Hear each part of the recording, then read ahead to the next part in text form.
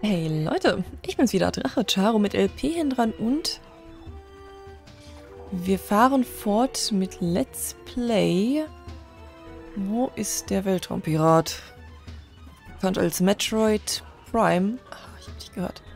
Remastered. So. Aha. Ich glaube, die haben wir noch nicht gescannt. So. Wusste ich. Das habe ich noch im Kopf, dass der auftaucht. Typus Icebeam-Pirat. Weltraumpirat mit Icebeam-Ausrüstung. Den Weltraumpiraten ist es gelungen, einige Waffentechniken der Toso-Entwicklung nachzubauen. Zu diesen Techniken gehört der Icebeam. Aufgrund von Konzeptionsmängeln ist der Icebeam-Pirat sehr empfindlich gegenüber seinem eigenen Waffensystem. Seine Bewaffnung ist im Vergleich zu dem Original aus der Toso-Entwicklung als minderwertig einzustufen. Dennoch ist die Kraft dieser Waffe nicht zu unterschätzen. So, super. Ja, das hatte ich noch im Kopf, dass der hier auftaucht. Und noch einer. Gebt mir eure Energie, ihr Hund. Hm? Ach, da oben bist du. Komm, stell dich mir.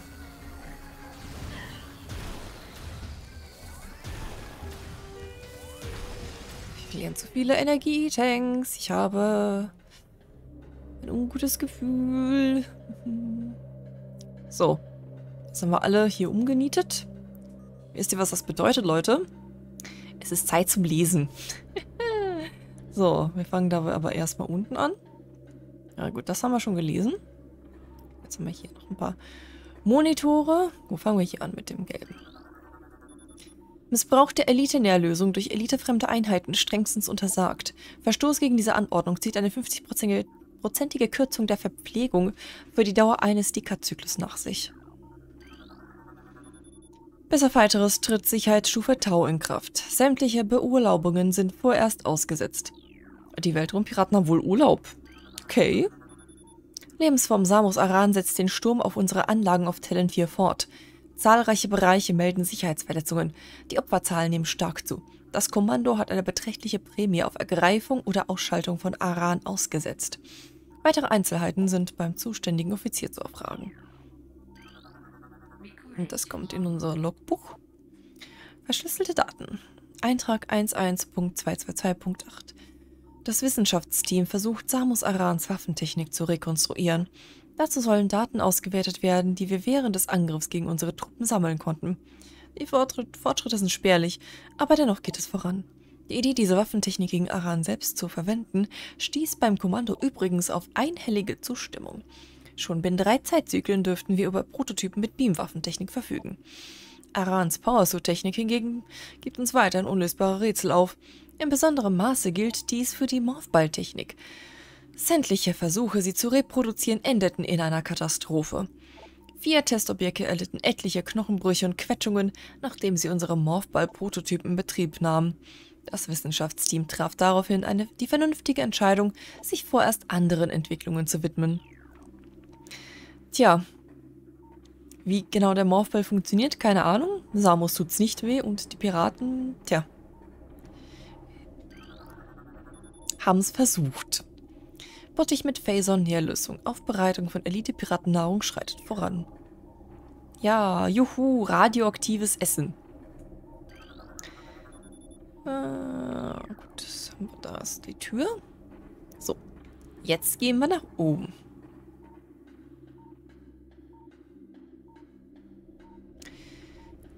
Ha. Ich, äh, ich mag den Bereich immer noch nicht, aber wenigstens machen wir gute Fortschritte. Begutachtung der Plasma-Artilleriekanonen ist abgeschlossen. Die Waffen sind intakt, aber dennoch wurde ein Schwachpunkt entdeckt. Die thermale Abschirmung einiger unterer Bauteilgruppen besitzt eine starke Wärmeabstrahlung. Dadurch wird Gegner mit speziellem Sichtgerät die Zielerfassung vereinfacht. Zum Beispiel uns. Hehe. So, Sicherheitsalarm, unautorisierter Zugriff auf Computersysteme. Lebensform Samus Aran ist in unsere Systeme eingedrungen. Der Jäger verfügt offenbar über freien Zugriff auf unsere Terminals und ist ferner in der Lage, unsere Sicherheitsprogramme zu umgehen. Nach Möglichkeit fortan manuelle Verriegelungen zur Sicherung der Systeme einsetzen. Tja, ja, wir sind ganz, wir sind ganz gut darin.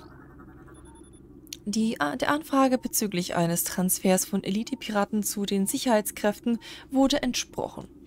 Einheiten EPG 8644 und EPG 8656 sind auf Einsatz vorzubereiten. Also das war wohl einer davon. Aggressionsbereitschaft der Talon-Metroids nimmt zu. Hiermit wird vor Ausbruchsversuchen der Talon-Metroids aus den Quarantäne Quarantänebereichen gewarnt.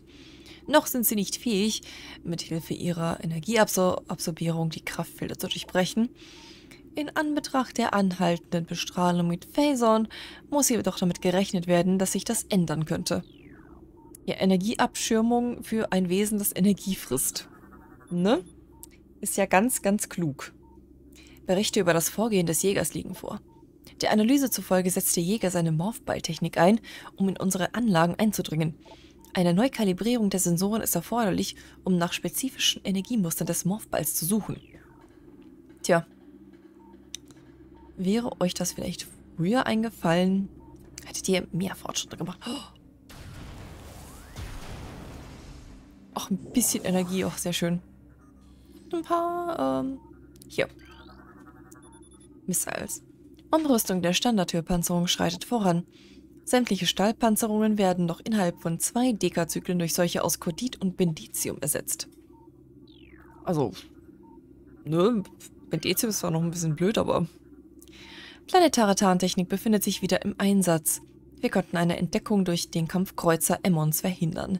Die durch den Absturz unserer Fregatte verursachte kurzzeitige Sicherheitslücke konnte somit wieder geschlossen werden. Nun können wir unser Augenmerk auf den Jäger konzentrieren lassen wir. Phason-Anteil bei der Elite-Pirate-Versorgung auf 18% erhöhen. Jegliche Anzeichen von Phason-Abstoßung bei den Eliten sind umgehend zu melden. Und das ist wieder wichtig. So, Eintrag 11.664.2. Im Bereich der Toso-Ruinen haben sich zahlreiche Vorfälle ereignet, bei denen Spektralerscheinungen gesichtet wurden. Mehrfach wurde Personal von diesen Choso-Geistern angegriffen und nur wenige überlebten die Angriffe. Die Überlebenden berichten von schnellen Angriffen aus keiner bestimmbaren Richtung, kurzen Sichtkontakten und plötzlichen Verschwinden und unmittelbar darauf folgenden Attacken nach gleichem Muster.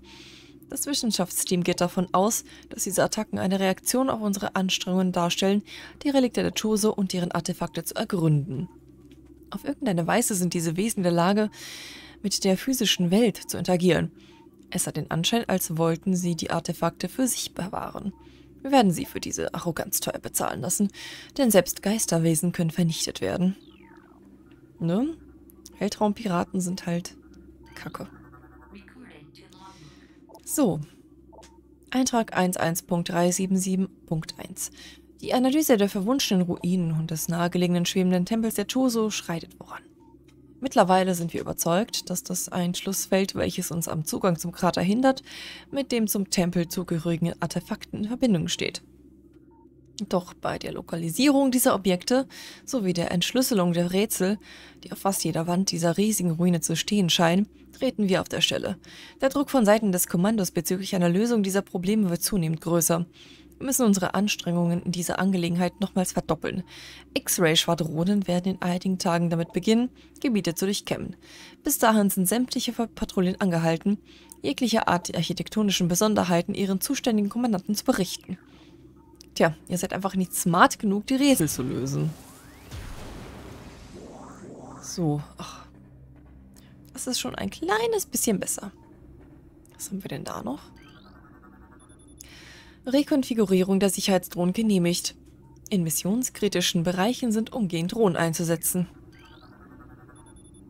Sicherheitskräfte erbitten Stationierung von Elite-Piraten im Quarantänebereich der Metroids. Die hohen Opferzahlen bei den in den Metroid-Gebieten eingesetzten Standardtruppen sind nicht akzeptabel. Also es ist nicht gut, dass es so viele Opfer gibt, aber... Na, gut. Ernte von Phason angereicherten Pilzen schreitet voran. Austausch der üblichen pflanzlichen Bestandteile mit der Elite-Piratung, äh, in der Elite-Piratennahrung mit Phason angereicherten Pilzfleisch sind genehmigt worden. Hm, das hat gerade ein bisschen gelaggt, hatte ich das Gefühl. So. Eintrag 11.440.4 Die Ergebnisse der Studien an der wahrscheinlich ausgestorbenen Gattung der Choso liegen nun vor. Demnach nehmen wir an, dass Talon 4 einst der Mittelpunkt eines weitläufigen Choso-Imperiums war, welches einen Meteoriteneinschlag zum Niedergang brachte. Die sich anschließende Umweltkatastrophe auf planetarem Niveau läutete das Ende der Choso ein. Gewisse Überreste ihrer Zivilisation haben die seitdem vergangene Zeit überdauert. Wir untersuchen diese Relikte und versuchen, ihre Kräfte für uns nutzbar zu machen. Was uns dabei nicht weiterführt, wird vernichtet. Schon bald sollten wir alles Verwertbare von dieser toten Zivilisation erbeutet haben, und dann werden wir diesen Planeten von den hässlichen Ruinen säubern. Die Toten sollten den Lebenden dienen und sie nicht behindern. Ja, die Arroganz der Weltraumpiraten ist unverkennbar. So. Eintrag 11.452.8. Wenngleich uns jegliche Anhaltspunkte fehlen, um die Artefakte der Dose aufzuspüren, sind wir doch zu einer annehmbaren Erklärung bezüglich ihrer Funktionsweise gekommen. Jedes einzelne Artefakt scheint zu einer der Statuen auf der Terrasse dieses Tempels zu gehören und als eine Art Teilschlüssel für einen Mechanismus zu fungieren, der den Einschlagskrater versiegelt. Der Anzahl der Statuen nach zu urteilen, muss es zwölf Artefakte geben. Wenn es uns gelingt, diese zwölf Artefakte aufzuspüren, werden wir sie dorthin überführen. Durch die Vereinigung der Objekte mit den Statuen... Ach verdammt. Mit den Statuen sollte sich das Siegel letzten Endes doch noch öffnen lassen. Gelingt uns das, so haben wir vollen Zugriff auf den Einschlagskrater, mitsamt der Kreatur, die er beherbergt. Und hoffentlich der letzte... Nevermind. So. Kraftfeld außer Betrieb. Okay. Gut. Das ist dann wohl der hoffentlich letzte Text.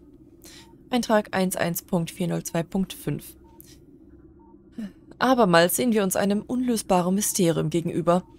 Wir werden niemals den Verbleib der Toso-Artefakte klären, wenn wir nicht in der Lage sind, zuvor die Inschriften der Statuen dieses abstoßenden Tempels zu entschlüsseln. Unsere Sprachdatenbanken sind völlig unzureichend und die Sprachanalytiker sind nicht in der Lage, mehr als vage Theorien aufzustellen. Uns bleibt momentan nur die Hypothese, dass zum Auffinden der Artefakte gewisse Objekte erforderlich sein müssen, die in einem spirituellen Zusammenhang mit der Zivilisation der Choso stehen. Ohne diese Objekte sind unsere Vorhaben zum Scheitern verurteilt. Das Kommando wird von Tag zu Tag ungeduldiger. Wir sind gezwungen, möglichst bald Fortschritte vorweisen zu können. Tja, Samos kann halt die Sprache der Choso und ihr, ihr Spaten nicht. So. Jetzt will ich erstmal gucken, was unten, wohin der Weg unten hinführt. Ah, da kommen wir nicht weiter. Ich glaube, das ist mit Bendetium versperrt. Ja, gut, da kommen wir nicht weiter. Dann brauchen wir die Powerbomben für. Dann heißt es durch die obere Tür. Ich habe einer der Gründe, warum die Phason-Minen so schwierig und halt uncool sind, ist der Fakt, dass es eigentlich fast keine Speicherstation hat, bis man ein gewisses Item bekommt. Und das macht das natürlich ungemein schwieriger, wenn man hier nicht mit genügend Energietanks und derartigem hinkommt. So, was war denn hier wieder die? Äh, Benditium. Das Gebläse läuft mit minimaler Auslastung. Aktivierung des Ventilationssystems erforderlich, um maximales Leistungsniveau zu erzielen.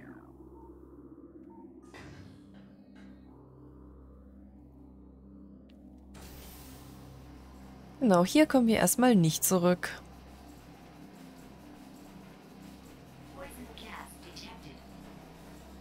Poison Gas detected.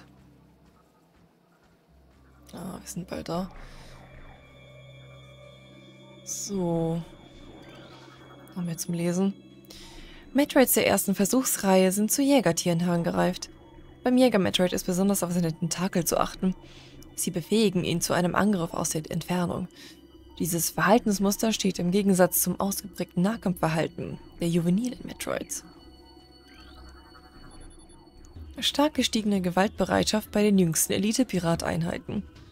Phazon-Anteil in der Nahrung wird um 0,07% gemäß der Anordnung des wissenschaftlichen Teams reduziert. Metroid-Aktivitäten in den normalen temperierten Bereichen nehmen zu. Was sonst noch was zu lesen da? Jegliche Benutzung des Magnetschin-Systems bedarf der Zustimmung des Sicherheitskommandos. Metroid zeigen keine Reaktion auf synthetische Ernährungsmethoden. Dies veranlasst uns zu der Annahme, dass sie ausschließlich eine Ernährung durch lebende Organismen akzeptieren. Ja, dafür wurden sie auch gezüchtet, also von dem her... Hm, war ich einer von denen?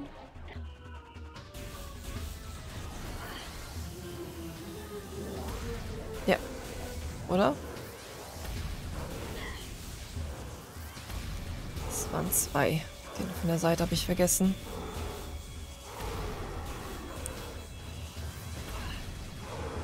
Aua. Das hat mich wieder viel zu viel Leben gekostet. Und unten sind... Eigentlich wollte ich nicht runterfallen. Ähm, eigentlich wollte ich von oben ein bisschen ballern, aber das ist, das ist komplett in Ordnung. Das war Teil des Plans. Euch in Sicherheit zu wiegen, dass ich hier alles unter Kontrolle habe. Ich hasse, ich hasse diese Typen ist tot. Zwei sind tot. Jetzt bloß nicht von dem Typen erwischen lassen. Oh, und alle drei sind tot. Oh. Die Energietanks, das ist nicht gut. Oi, das ist ja echt der Lesepart heute. Boah. Ich lese mir noch meine Zunge fusselig. Identifikationscode EPG 8701 Reihe 1. 1. EPG 8702 Reihe 1. Gottes Willen. Erstmal die Tür hier aufmachen.